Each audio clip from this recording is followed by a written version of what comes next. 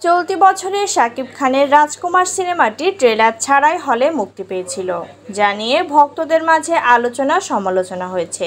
এদিকে শাকিব খান ও অভিনেত্রী মিমি চক্রবর্তী অভিনীত রায়হান রাফি পরিচালিত তুফান সিনেমাটি মুক্তির আগে ট্রেলার বের হবে কিনা তা নিয়ে পরিচালক মহল থেকে কিছু জানানো হয়নি। এর মাঝেই সামাজিক যোগাযোগ মাধ্যমে এক নতুন বার্তা দিলেন রায়হান রাফি। এরপর অনুরাগীদের মাঝে শুরু হয়েছে আলোচনা ও সমালোচনা। রায়হান রাফি তার ভেরিফাইড ফেসবুক আইডিতে এক পোস্ট করেন, যেখানে ক্যাপশনে লিখেছেন, তুফানের ট্রেলার মুক্তি না দিলে কঠিন আন্দোলনের ডাক দেওয়া হবে। এই পোস্টের নিচে কমেন্ট বক্সে ভক্ত অনুরাগীরা রায়হান রাফির সঙ্গে সহমত পোষণ করে নিজেদের মতামত জানিয়েছেন। এক ভক্ত লিখেছেন রাফি ভাই।